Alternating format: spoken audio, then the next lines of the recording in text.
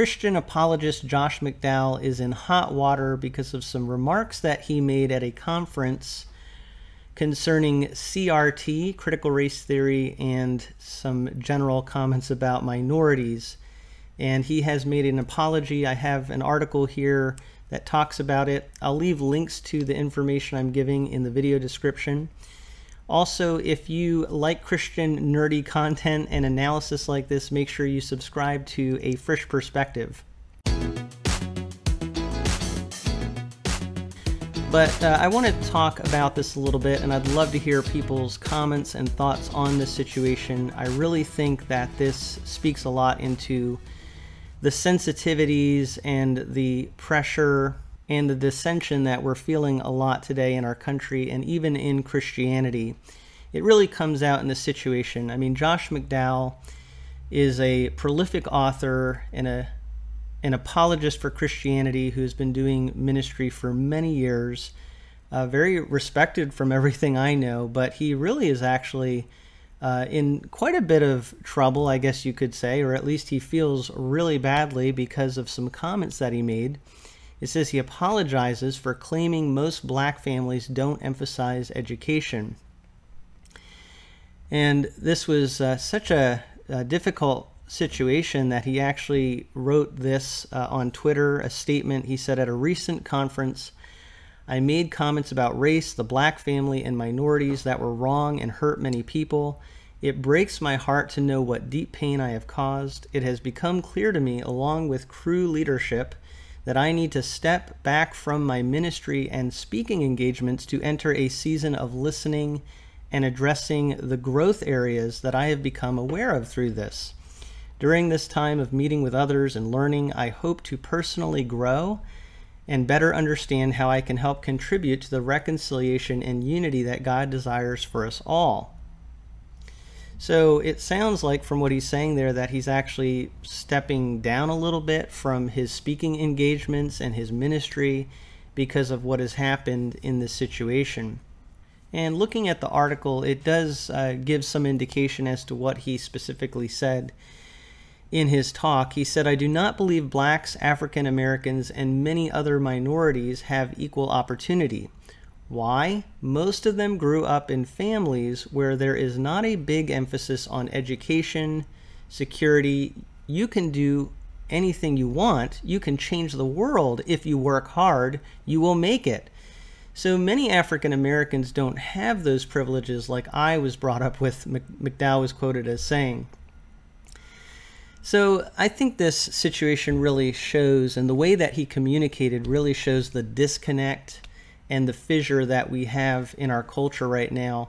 Uh, just different outlooks on the world. And actually, I was reading another article that I think gave a little bit clearer explanation as to what he was really getting at in all of this. He was criticizing critical race theory McDowell told Christian counselors that CRT negates all the biblical teaching about racism because it focuses on systems rather than sins of the human heart, and said today's definition of social justice is not biblical.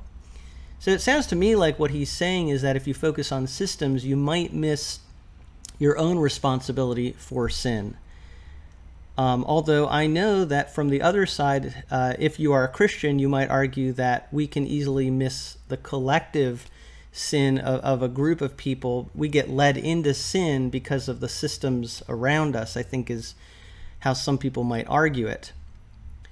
But he does uh, say here all that not all Americans have equal opportunities to succeed. And then there's the quote that I read before and then he added the Bible only focuses on individual sin, not structural sin. Now, I'm sure that's a point that could be argued whether the Bible does actually focus on communal sin, right? The sin of maybe a nation, for example. And I think it could be argued that there's a sense in which the Bible does pinpoint uh, systems, if you will.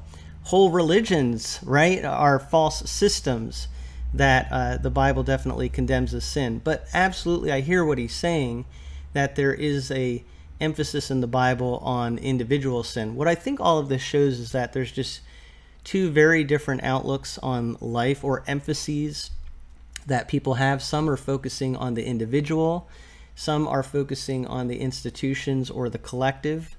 And because he's focusing on the individual, he looks at things a certain way. And so he makes this generalized statements about minorities. The problem must be the way that they were brought up. And I think there is a lesson to be learned that even if you're trying to say something good, you know, it shows you that the way that you talk about people, the way that you generalize, um, is going to be taken in a certain way.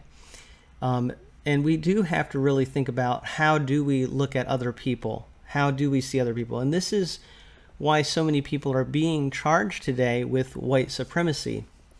Now, I'm not in favor of uh, calling people white supremacists if they are not, in fact, white supremacists. I think that that term, honestly, is, is being misused in many ways.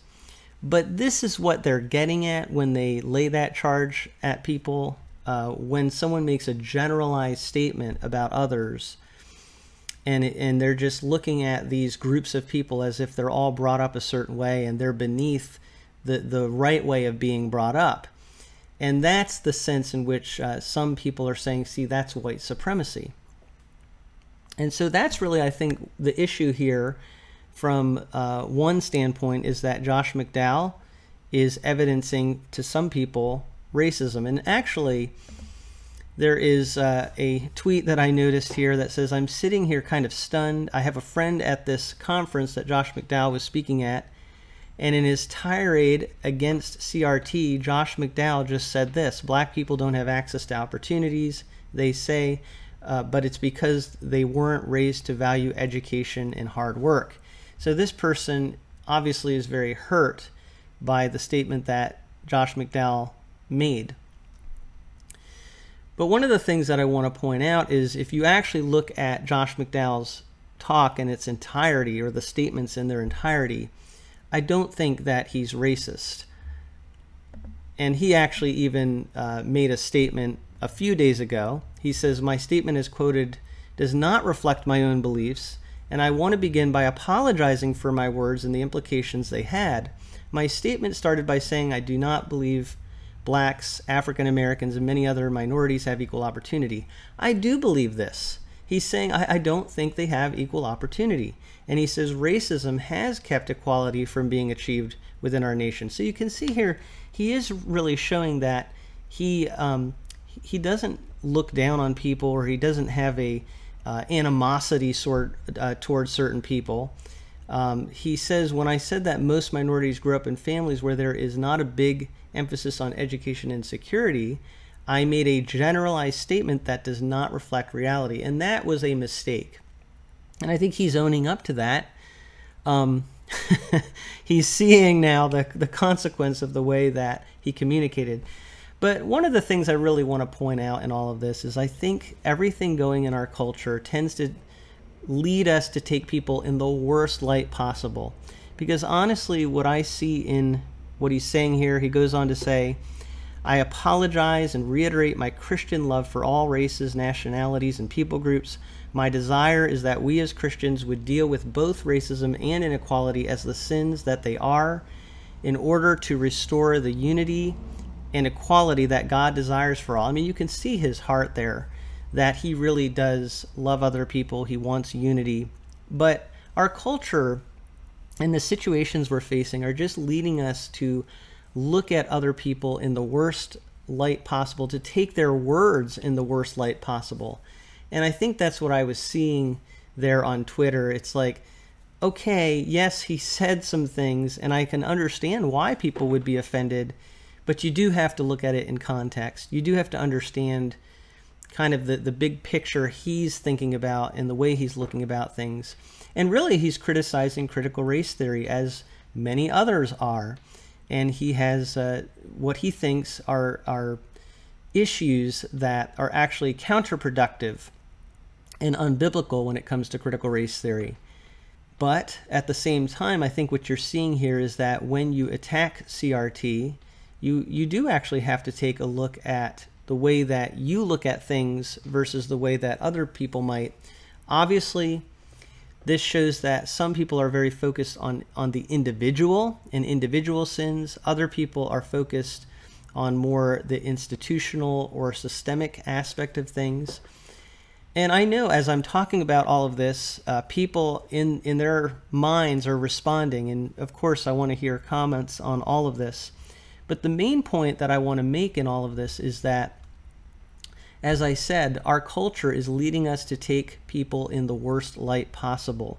And I would encourage you, even if you are on the other side of the aisle from someone else, uh, try to understand where they're coming from. Because if someone does believe that collectively there's a group of people that somehow are doing something wrong, and I think that's what's being said uh, to to a large degree in our in in some circles of Christianity. They're saying that you know it's it's Christians are not individually racist, but we do have to look at the way we collectively look at other people, and so I think that's a lesson to be learned. But also taking people in the worst light possible in the other direction. That just because someone thinks that an individual needs to take responsibility and that the way that they're brought up affects them, um, you know, just saying, okay, then I can tell by that statement you're racist, we have to be careful of that too.